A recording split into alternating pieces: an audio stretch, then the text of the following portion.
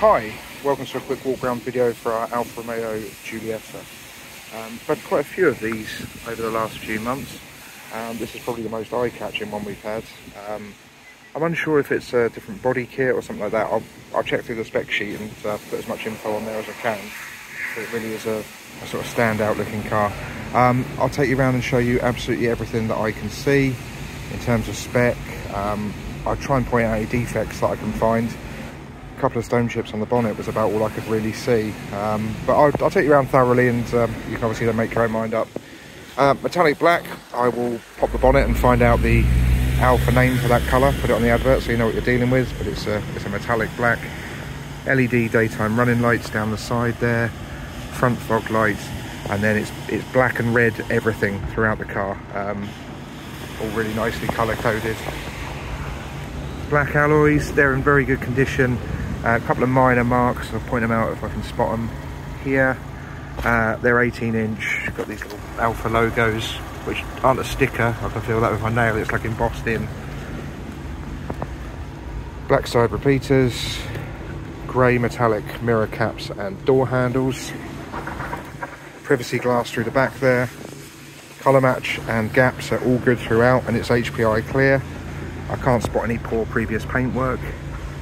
It's got a matching set of Goodyear tyres all round. Spoiler with the high level brake light built in. Rear parking sensors here. Black badges. This uh, sort of diffuser along the bottom here. Really nice note to the exhaust. Parcel shelf is present. We've got the load through facility there 12 volt point up here. Storage bins on the side. And a full-size spare wheel with a toolkit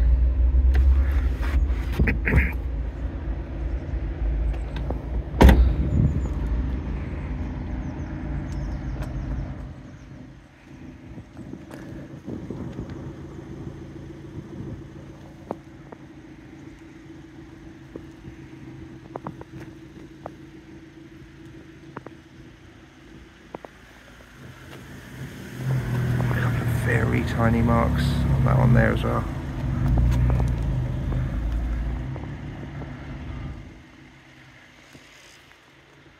Roof's all good. Sensor in there for the uh, wipers.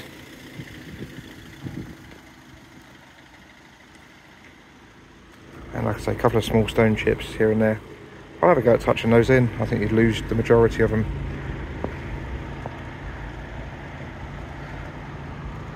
That's the outside. Head inside now. Start at the back.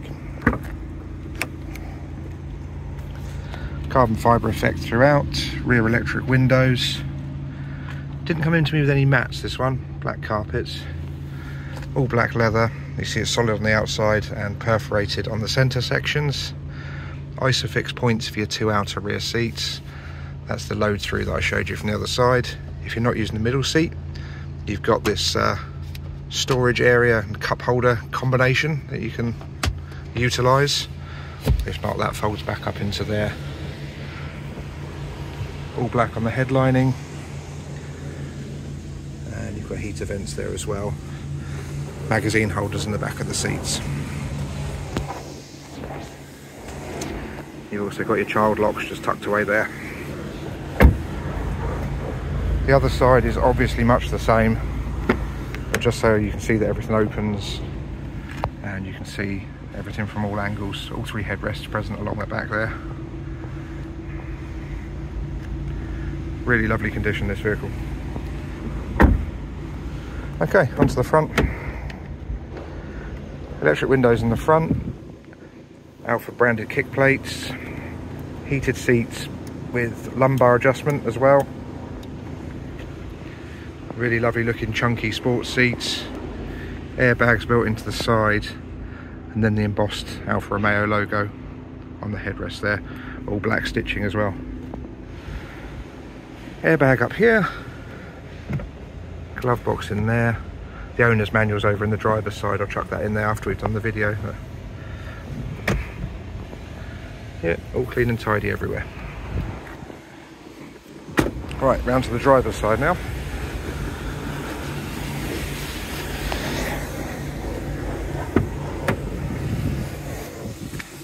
Electric mirrors, these ones are power folding as well. I'll fold them in and out so you can see them working. Electric windows all round which you can lock from here too. Got the original owner's manual with loads of bits and bobs in there. I've taken a picture of that all spread out so you can see exactly what's there, but it, it looks to be everything. Same on this side, except uh, the driver's side, yeah, driver's side, you get height adjustment. Other than that, same as the other side, and like zero signs of wear on the leather bolsters here. That's it's almost perfect. Uh, alloy pedals with the Alfa logos on. I'll hop in and show you the rest. Got your trip computer bits there. Two keys with the red fascias on them. They're all in good order. There's the miles, 56,485. Got auto wipers, auto lights, cruise control, and this very pleasant flat-bottomed multi-function steering wheel with red stitching. Uh, once you've linked your phone up, these buttons come into action, and this is the volume and um, radio buttons up there. Little storage area here. Now this is, um, I don't think, is original. It fits perfectly and it integrates with steering wheel controls and everything else, but I don't think it's original. Um, if I take you into the menus here, radio, DAB, auxiliary and Bluetooth. And if you go into the setup, take you down there to the sources, you can see it's got Apple CarPlay and all that sort of stuff. It comes up with an Alfa logo when you start the car, but I think you can program those in. But yeah, I'll do some further further reading, but it just strikes me as being a an aftermarket unit. Uh, locking, front fog lights and rear fog lights, and tyre pressure reset. Dual zone climate control, then we've got your auxiliary inputs here. Turn your parking sensors off here and turn your stop start off there. There's your driving modes, the DNA. I will flick through those. They come up on here. Dynamic is the sporty one. Natural is day to day. And then all weather is the one down at the bottom there. You just hold that and it flicks between the modes. Uh, six speed manual gearbox, matching in with the colour combo, red and black. Same over here with the gaiter. Inputs here, there's a charger and one that has HDMI on it. This may be part of this aftermarket thing, um, but that would imply that you could use this then as a screen for anything that has an HDMI output. Um, cup holders and storage there, little armrest with another bit of storage there you will not see it but there's an airbag logo up there you'll see it in the pictures more clearly two seconds just got a little notification to get rid of on my phone um, illuminated vanity mirrors sensors and microphones for bluetooth etc and your interior lighting. This one tells you seat belts are on and off. And a little power button there implies to me that that is an auto dimming rear view mirror. Um, just one thing, it just doesn't look to have native sat nav, but it has the Apple CarPlay, so you could be able to mirror that through and get sat nav there. Um, that is everything I can see. If I've missed something, please do give me a shout and I'll pop out and check for you straight away. Um, I will include as many pictures as possible of the interior, the exterior, and the paperwork, so that you get, along with this narrated walk around video, uh, hopefully the full picture of what the car's like. Uh, we know these days a lot of people can't or don't want to come to the site and like to do the business remotely.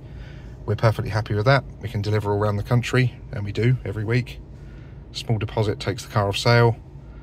We run it over to you. If you're happy, you pay the balance. If you're not, you don't. Um, I can explain that in more detail if you want to give us a call.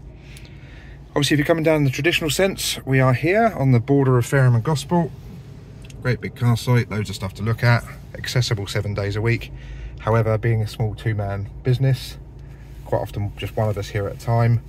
We can be out and about, um, so it is imperative to make an appointment, I would say, if uh, if you've got to this point in the video, I assume it's this car you're interested. So if you want to come down and have a proper look at it, get inside it and all that, please do phone ahead and make an appointment because we could well be out of the area and you would waste a journey coming down and not be able to look at the car properly. Right, that's everything I've got to say. So thank you very much for watching.